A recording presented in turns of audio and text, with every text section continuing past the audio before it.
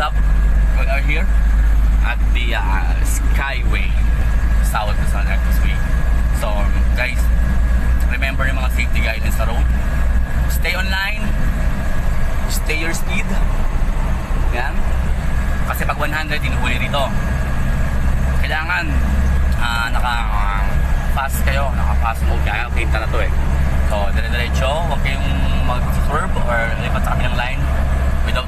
the other vehicles para iwasan ang, ang disgrasya. At syempre, ang pinaka-importante, huwag kalimutan ng seatbelt at ito, ipapakita ko sa inyo.